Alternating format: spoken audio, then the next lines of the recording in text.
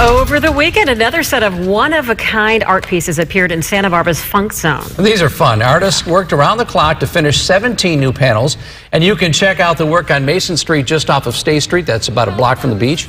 The freestyle public art has been changed out about every three months since 2009. Many artists were interacting with the public while they were painting, and some passerbys even pitched in and helped out. I've seen a lot of kids point out the Mickey Mouse and that they like it, or the Super Mario Brothers, and other kids tell me that mine is scary. So it's, it's really cool seeing that people are actually involved with it.